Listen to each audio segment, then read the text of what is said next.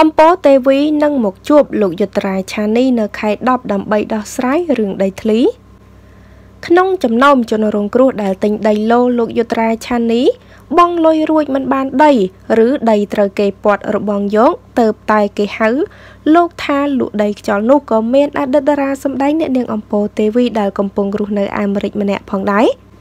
ដែលបានទិញគម្រោងមួយនេះប្រភពបានឲ្យដឹងថាអ្នកនាងអំពរទេវីបានទិញដីឡូនោះមួយប្លង់អស់ទឹកប្រាក់ចំនួន24000ដុល្លារហើយបងលុយអស់តែឥឡូវដីនោះត្រូវបានគេពាត់របងយកជាហេតុនេះនាំឲ្យអ្នកនាងដែលកំពុងរស់នៅអាមេរិកមានអារម្មណ៍ច្របូកច្របល់ ហើយក៏មានគម្រោងចុះមកស្រុកខ្មែរនៅថ្ងៃទី9ខែតុលាឆ្នាំ2023ខាងមុខដើម្បីជួបតទល់ជាមួយនឹងលោកយុត្រាឆានីនិយាយជាមួយគ្នាបានច្បាស់លាស់រឿងទិញដីបងលុយរួចអត់បានប្លង់ដីនេះ។តាមព័ត៌មានថាក្រៅពីអ្នកនាងអំពរទេវីនោះក៏នៅមានអ្នកម្ដាយអតីតតារាសម្ដែងខៀវសុខារាវីគឺអ្នកស្រីនិនរ៉ាត់ ម្នាក់ទៀតផងដែរដែលបានទិញដីឡូរបស់លោកយុត្រាឆានីនៅទឹកប្រាក់អស់ជិត20000ដុល្លារផងដែរហើយពេលនេះដីក្នុងគម្រោងនោះត្រូវបានគេពាត់របងធ្វើជាកម្មសិទ្ធិរបស់គេដូចគ្នានិងជនរងគ្រោះផ្សេងទៀតខណៈដែលអតីតតារាសម្ដែងល្បីឈ្មោះម្នាក់ទៀតគឺអ្នកនាងកែវកល្យានបានចំណាយលុយទិញដីរបស់លោកយុត្រាឆានីច្រើនជាងគេគឺចំនួនដល់ទៅជិត60000ដុល្លារឯណោះ តែបងលុយរួចជាច្រើនខែអត់បានប្លង់ដីដូចគ្នា ប្រភពបានឲ្យដឹងថាក្រៅពីដិតតារា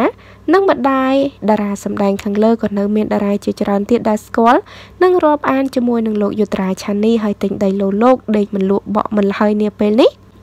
ព្រោះថាដីនោះត្រូវបានគេពាត់របងធ្វើជាកម្មសិទ្ធិរបស់គេអស់ទៅហើយម្យ៉ាងទៀតនៅពេលដែលជនរងគ្រោះខ្លះបានទៅដល់ផ្ទះលោកយុត្រាឆានីដើម្បីឲ្យលោកចេញដោះស្រាយរឿងនេះលោកបែរជាកិច្ចវេះពីអតិថិជនហើយបិទទ្វារផ្ទះទៅវិញ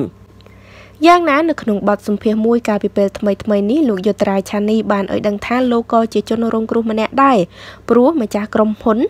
វ៉ាន់ណេតសវណ្ណភូមិនោះវិចលុយរត់ទៅបាត់ស្រមោលធ្វើឲ្យដី1ហិកតា ដែលជួបបញ្ហាក្នុងចំណោមដី7ហិកតាហើយមានអតិថិជនចំនួន71គ្រួសារនៅភូមិអំពិលសង្កាត់កំបូលខណ្ឌកំបូលរាជធានីភ្នំពេញនោះបានជួបនៅរឿងរ៉ាវបែបនេះព្រោះថាដីនោះត្រូវបានដាក់បញ្ចាំ